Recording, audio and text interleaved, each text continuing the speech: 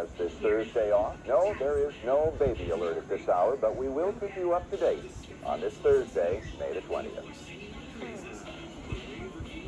From the team that stands for San Diego, Jack White.